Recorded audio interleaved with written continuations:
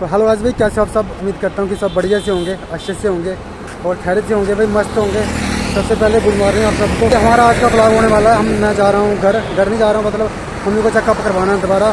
तो हॉस्पिटल जा रहे हैं, मम्मी को ला रहे हैं डैडी और मम्मी आ रहे हैं गाड़ी में। तो गाड़ी में आ रहे हैं और मैं भी जा रहा हूँ क्योंकि चेकअप करवा लेते हैं। एक महीने बाद बुलाया था। तो आज एक महीने बाद हम जा रहे हैं। अभी अभी सुबह का टाइम हो रहा है जस्ट दस बज रहे हैं। तो नहाए धोए अब मैं रेडी हो गया हूँ तो जा रहा हूँ अभी। तो चलो चलते हैं भाई, आज का ब्लॉग होगा, कठुआ से लेकर पठानकोट से होकर फिर घर तक होगा, जो कि आपको मैंने बता दिया कि कहाँ से कहाँ तक ब्लॉग होगा। तो चलो चलते हैं। फ़िलहाल मैंने मम्मी को फ़ोन किया था मम्मी डैडी को फ़ोन किया था, वो बोल रहे कि बस दस पंद्रह मिनट में हम लखनपुर में पहुँचने वाले हैं, पहुँचने वाले हैं। तो चलो चलते हैं भाई, देखते हैं क्या कुछ होता है आगे। तो एक दो दिन बाद शादी भी है चाची की शादी है तो शादी देखेंगे भी मस्त इंजॉय करेंगे। तो ये देखो भाई, यहाँ पर मेरे को निकला है, कुछ मतलब एक बाल था, मैंने कटिंग करवाई थी पूरी क्लीन शेव और एक बाल था यहाँ पर अजीब सा, वो मैंने खींचा जैसे ही तो उससे ये मतलब बाल तोड़ हो गया, बाल तोड़ बोलते हैं इसको। तो ये देखो भाई, अजीब सा लग रहा है कुछ यार छाती में लगेगा फिर चलो ठीक है, अब क्या करना है। किस्मत ही माड़ी है अपनी। अगर वीडियो अच्छी लगेगी तो लाइक करना और चैनल पर नहीं तो चैनल को सब्सक्राइब ज़रूर से ज़रूर करना। तो चलो चलते हैं। ज़्यादा व्यू चेक कर लो एक बार सारा, चारों तरफ़ से।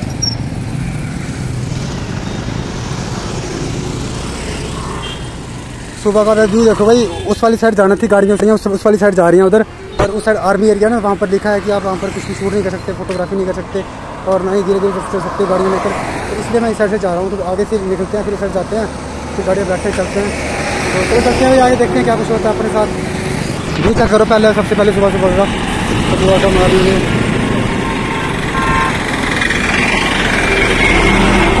उनकी गाड़ी तो निकल गई थी पहले। तो मैं लेटे पहुँचा मैंने कहा कि आप चलो और पर्ची पर्ची कटाओ हटवाओ और चेकअप करवाओ मैं पहुँचता हूँ। अगर मेरा वेट करता फिर लेट हो जाते हम तो इसलिए वो चले गए पहले। तो मैं जा रहा हूँ बस से आया ये जी बस को जाते में आया बटुआ से। सरकारी बस में आया तो चलो भी चलते हैं। वो वो तो पहुँच गए होंगे कर, करवा रहे होंगे काम। तो मैं भी चलता हूँ। बस पाँच मिनट लगेंगे यहाँ से पाँच दस मिनट लगेंगे। तो ऑटो से जाते हैं यहाँ से। तो फिर देखते हैं आगे क्या कुछ कहते हैं। डॉक्टर कब को बुलाते हैं दोबारा बुलाते हैं नहीं बुलाते हैं।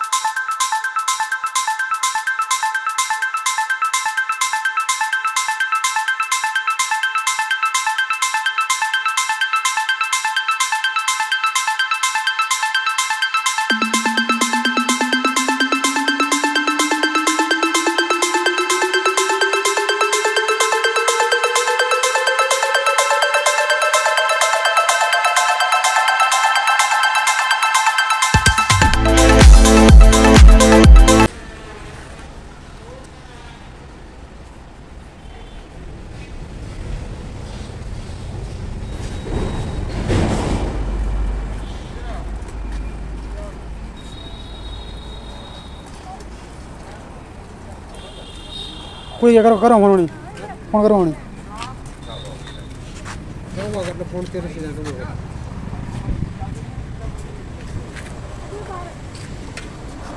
गाइस फाइनली हो गया, मम्मी का चेकअप एक महीने बाद आए थे तो अभी जो प्लस्तर लगा था और जो पट्टी वगैरह हुई थी, वो सारी खोल दी ड्रेसिंग वगैरह। अभी ड्रेसिंग भी नहीं की, क्योंकि जख्म जो है पूरी तरह से आ चुका है, खुल गया है, जो कुछ भी था, सब कुछ खोल दिया। तो अभी चलने के लिए बोला था, पर फिर उन्होंने कहा कि आप एक महीना और देख लो तो एक महीना और इनको नहीं चलना अभी तक।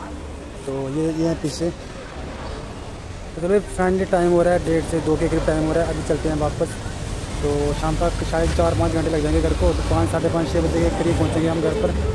तो एक बार कर दिया है वाकर पर अभी यूज़ करना है वो एक महीने बाद दोबारा फिर से हम चेक करवाएँगे। फिर फिर फिर चलना है उसके बाद, अभी एक महीना बोला कि आप एक महीना और देख लो। तो चलो, फ़िलहाल ये थी छोटी सी इन्फॉर्मेशन तो चलते हैं अभी घर एक्सरे वगैरह हुए दोनों टांगों के दोबारा चेकअप किया। तो उन्होंने बोला कि आप एक महीने तक और नहीं चलना। तो चलो भाई छोटी सी इन्फॉर्मेशन मैं ज़्यादा ब्लॉग शूट नहीं करूँगा क्योंकि एडिटिंग करते वक्त वो दिक्कत होती है, फिर मेरे को टाइम कंज्यूमिंग काम होता है एडिटिंग करना। तो इसलिए मैं छोटा सा ब्लॉग बनाऊँगा, जो मेन मेन होगा वही रिकॉर्ड करूँगा वही बताऊँगा आपको। तो चलो चलते हैं आज साल मम्मी, ये देखो आप, इधर है। तो चाचू रफीक भाई, ये है गाड़ी इनकी, इसमें जाना है। तो पता नहीं कहाँ गए हैं, बाहर गए हैं कहीं। तो चलो चलते हैं भाई। डैडी गए हैं, उनको देखने, बाहर गए हैं, फ़ोन लगाया चौथा फ़ोन। तो चलो चलते हैं भाई। देखो व्यू यहाँ से एनजी सागर डैम का।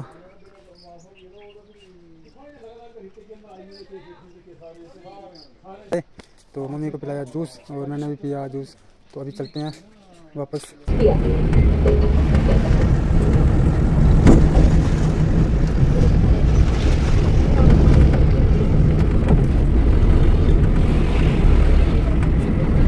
भाई घर वालों के पैसे का खाने का मज़ा कुछ घर वालों के पैसे के खाने का ना मज़ा कुछ और होता है।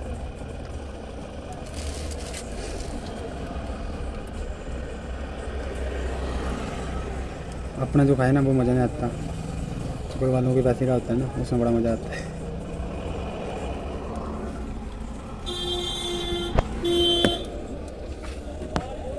पंजे ले ले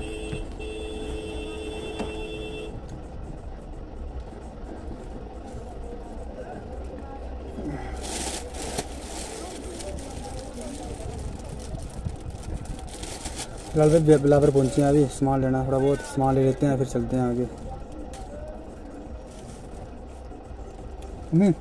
क्या हाँ और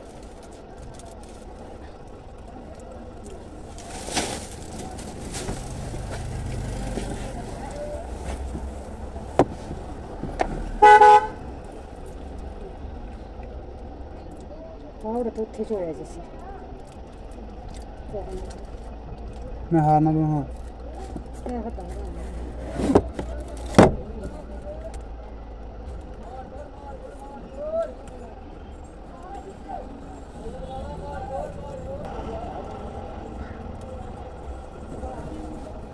Tatuelli.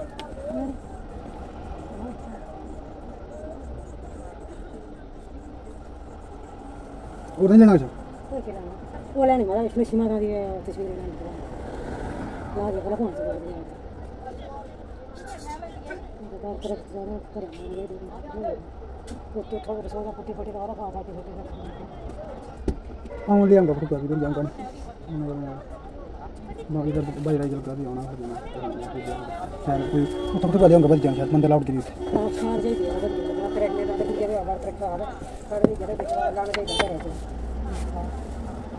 मंदिर बन के पे दे भाई था उठो यार नहीं नहीं होने हैं? वो लेना और के कर लो में दे दो होती है में